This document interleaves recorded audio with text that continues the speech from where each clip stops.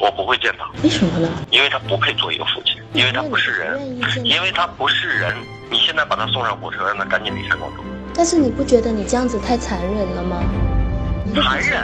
他拿刀砍我妈的时候，他残忍了吗？老人年轻时暴打妻儿，如今患病央求被赡养，儿子直言：“你死了我都不伤心。”这悲剧是如何产生的呢？十四年前，刘志明母子为了躲避父亲的毒打，苦苦哀求邻居借了几百块钱，逃到了广州。心碎你我母亲的手啊，就把你母亲砍伤了是吗？那这个手指头动不了。高三那年，我妈为什么坚持不让？她父亲又拿刀给了我妈。十四年后，老刘没钱治病，决定去找儿子。几经周折，终于找到了儿子工作的地方。是刘刘胜利的爸爸。你接下来他是要怎样接？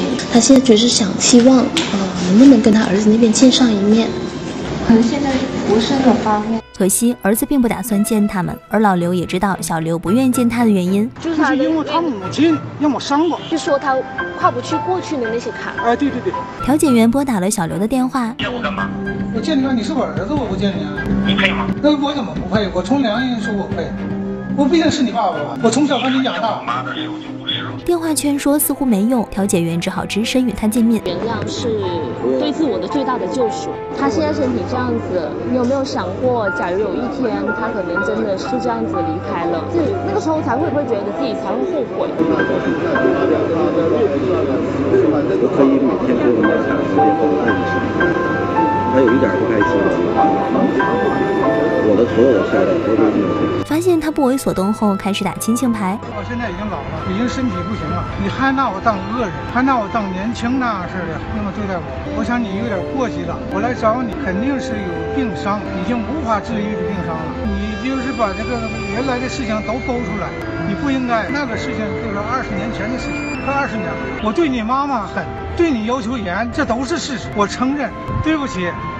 然而小刘一脸冷漠，不为所动。我拍一张他现在的照片，然后给我前妻发过去，到他手机上位老刘得知后气急败坏：“你是我儿子，我把你养大的，我怎么见你就不行？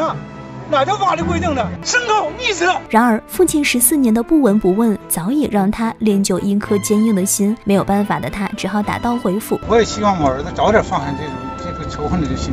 十四年没见了，我以为他应该懂些事情。我也希望在我有生之年呢，能跟我儿子能取得联系。